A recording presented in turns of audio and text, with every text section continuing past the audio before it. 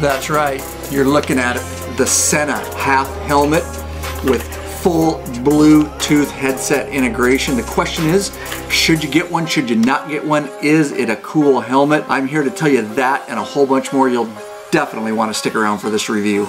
This is what I'm gonna do to you.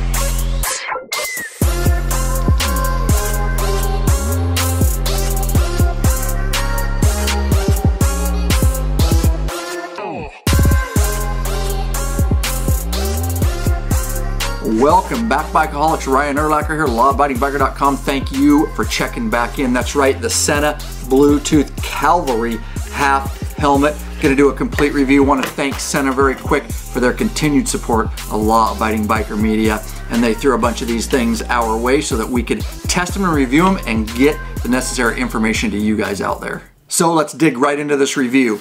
Matte black is this one. Also comes in gloss back. Your choice, of course, multiple different sizes to choose from. And at any time you want to get hooked up with a Cavalry helmet or any other Sena product, please consider supporting us if you appreciate these videos. Get it right from our very own store. Lawabidingbiker.com forward slash store. I'll pop a card right about there. Link in the description below. Big Daddy Kane, who runs the store, is ready to serve you. So you probably see the three bolts here. There's a reason for that. That's right. Comes with a visor. The jockey visor screws in really easy. Not a fan of these, so tossing that out. And you can just put the screws back in if you don't like just the holes right there. So I was very surprised when I got this out of the box of the weight before I started riding with it. Um, it uh, is very light actually. It's I think they rated it 2.1 pounds. It's very similar. This is a regular G-Max, maybe just a little bit heavier, but that gives you an idea. Everybody's pretty familiar with these.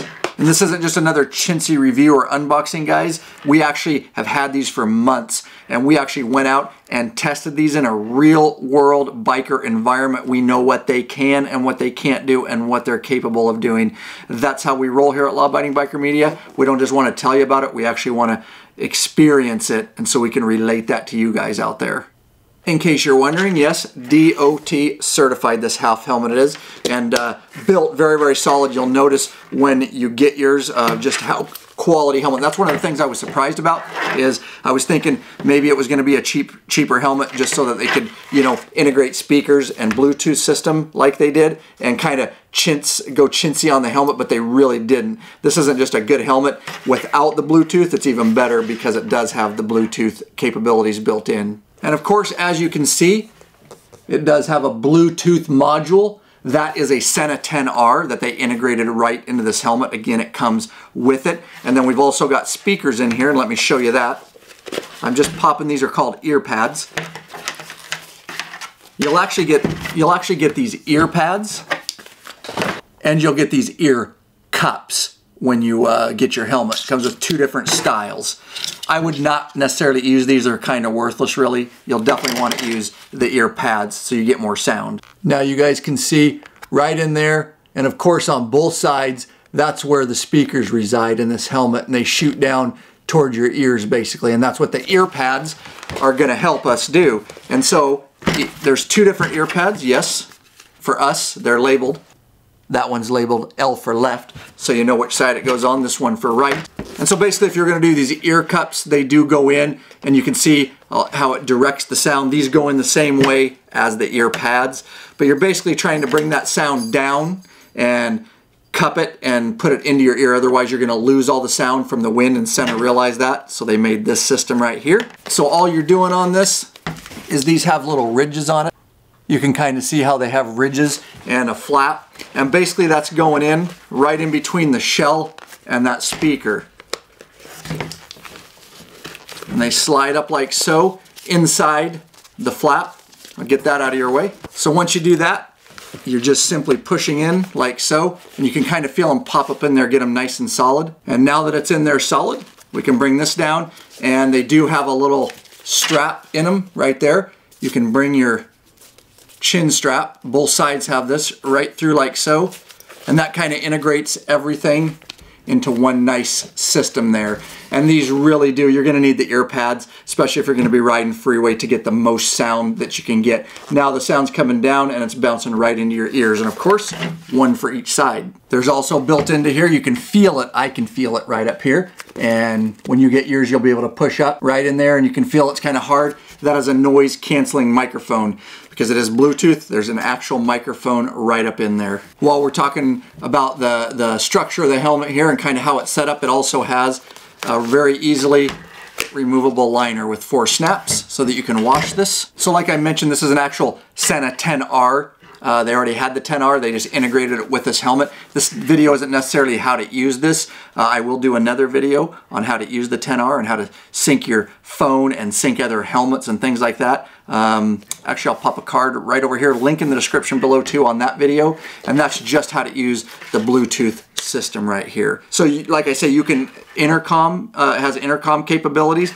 and you can pair this helmet up, this 10R and this system, up with three other Cavalry helmets, so up to four at a time. So this plus three other helmets, and you can actually talk helmet to helmet with other riders. So like I say, you can pair helmet to helmet up to three other of these. This is another Calvary, and you can talk with riders. Additionally, you can pair it directly with your smartphone via Bluetooth, guys, and so you can listen to all your music um, from your phone into your helmet. Of course, it's got volume buttons over here. You can also take phone calls, and of course, you can give voice commands and tell your phone to dial a certain number and things like that. So full functionality, synced via Bluetooth wirelessly, cell phone, smartphone to the helmet. And don't worry, I'm going to tell you how all that works, the intercom as far as uh, how well it works and the phone calls and things like that. But first, yes, it works with the Sena FreeWire, guys. I know that's a question. I tested it thoroughly. Number one, Make sure your smartphone software is up to date. Number two, you always need to make sure your Sena products, including the 10R here, is always up to date. The software, make sure the FreeWire is up to date. Sena does a really good job on their website, and I'll put a link in the description below. But you go there, it's very simple. It's a simple desktop application, and you just plug your helmet or the 10R in this case in, and, and this, the FreeWire. You always want to make sure that software is up to date. And with their app, their desktop application, I should say, it makes it super simple, it's super intuitive, but you definitely want to make sure also that your boombox systems, your Harley-Davidson boombox system is up to date. So further on the FreeWire system, yes guys, this does, like I say, pair, um, no problem. This allows you the Sena FreeWire, and I've already done videos on the Sena FreeWire guys. I will put links in the description below on how you can use this to wirelessly integrate a Sena 20S, in this case a 10R, directly to your boombox system wirelessly uh, so that you can give voice commands to your boombox and give directions and next track and make a phone call because with the FreeWire it allows us instead of going directly phone to helmet we can actually go from the helmet um, and we can go back and forth from the boombox this is a wireless transmitter and it will shoot a signal from uh, uh, from the boombox to the helmet and to the helmet to the boombox so we can have that full integration. So I did do a lot of testing um, out on the road with the FreeWire and I just want to give you the facts of how it works. And so with this helmet on, of course, it's just sitting on your head and your voice is going up into this microphone up in here. And I was good with the FreeWire hooked up to my boombox. I was giving voice commands, I was making phone calls, I was giving directions to the GPS unit and saying things like skip or next song, next track, all those commands that we can give to the boombox. I was good and I was riding a Street Glide uh, special with about a 10 inch windshield on it and the fairing. Um, I will tell you that up to about 40 miles an hour it was good. The boombox was recognizing all that. Anything above 40 miles an hour, of course I could still hear everything because I've got the ear pads on. I could still hear music and all that, but it really didn't like um, and that's not the boombox or the FreeWire's fault. That's just this microphone. It's a noise canceling microphone, but it's still going to get a lot of wind, and it didn't like it at over 40 miles an hour. So I, after that, I was not able to give those commands. But again, I could still hear everything coming out of my boombox because that's coming out of the speakers on the side. And I say that's probably fair to say the phone too, um, right around 40 miles an hour if you're just going phone to helmet guys, um, just because the wind cancellation and the phone computer software is trying to hear what you're saying and if it's not crystal clear which is not going to be above 40 it has some troubles with that. But it certainly doesn't mean that you can't just reach up and of course this is perched up in your biker gripper the number one sexiest sleekest strongest cell phone motorcycle mount on the market. Guys right up on your handlebars link in the description below. Um, with that up there that you can't just reach up and dial and then you can have a phone conversation. So on the phone conversation I was actually uh, testing that all the way up to uh, 70 miles an hour 75 miles an hour down the freeway. And paired directly with my phone or going through with the FreeWire through the boombox system. I was able to have conversations at freeway speeds and the party on the other line could hear me. Of course, they could hear a little bit, sounded like a little bit of wind um, or clearly I wasn't just sitting in a still room, but no problem, guys. It, and that amazes me the technology that that even though you know we had a little problem with the voice commands uh, uh, understandable with the computer trying to hear, but the when it's just a regular conversation with another human being, to be able to go down the freeway with this thing on, um, on a fairing bike, of course, with a 10-inch windshield, that I can have a conversation without a mic. We're used to the mic over our mouth on a lot of full face. That it was picking it up and I was able to have that conversation. Now, I will say this helmet probably not going to be great. Um, for a bike without a windshield or fairing. Um, I have one of those bikes too, and you're just not going to get hearing the music. We'll talk about that in a minute, um, and and just probably going to be too much wind. This is really more and uh, uh, honestly geared towards somebody that's kind of on a touring type bike with some sort of windshield or fairing protection to try to cut down some of that wind. So with that, let's talk about the speakers that I already showed you right up in there. Um, as far as that goes get over it. It's not going to sound like Beats headphone guys. No helmet system, whether it's full face or half helmet. I think some people try to get these helmets and think they're going to sound with deep bass and full sound. They can't do that, guys. Reason is, look how thick these are. You can't fit these in a helmet. So because of that, you're going to get sound. You're going to get loud sound. You're not going to get the deep bass and all the highs that you're looking for, guys. It is a headset speaker system. But with that said, for what it is, for a helmet, it does very, very well. I was able to, you know, paired with my phone, listening to my music.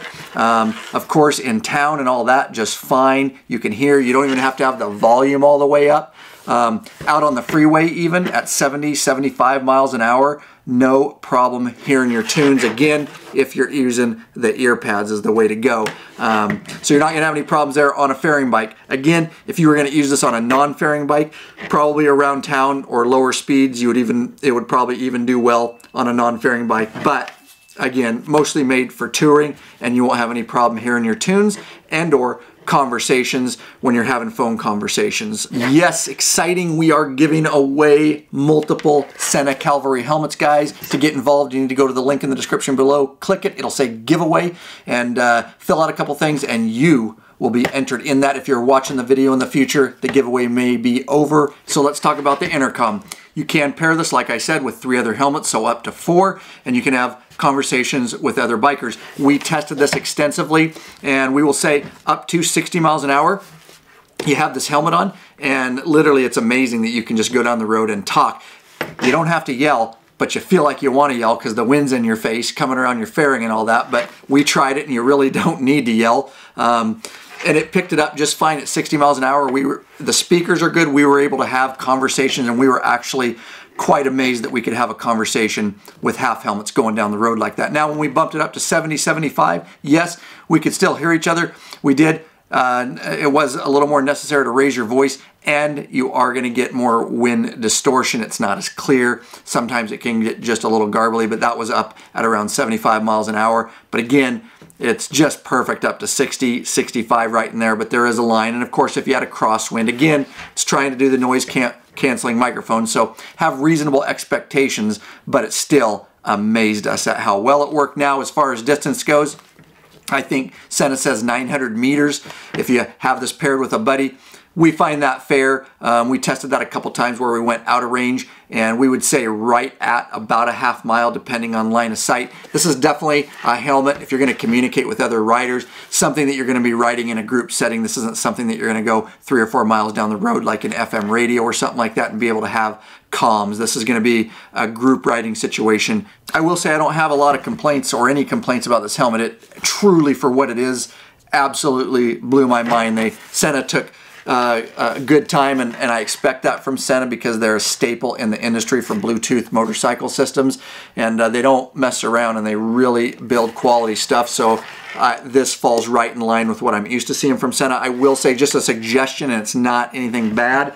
I do wish if they can add to this, it would be just the ultimate helmet, and I wish they would just add like this helmet a simple visor that we can pop down and it could probably fit right up front there, but that's just a suggestion. That's not necessarily a negative. Ditch the little visor jockey thing, put the sunscreen instead. Um, that's pretty long, gonna last you a day, two days of riding, listening to music, stuff like that. It does take about three hours for a full charge, I found. So right in the back here, guys, you can see that opens up like so. And there's just a little interface in there, the charging cable.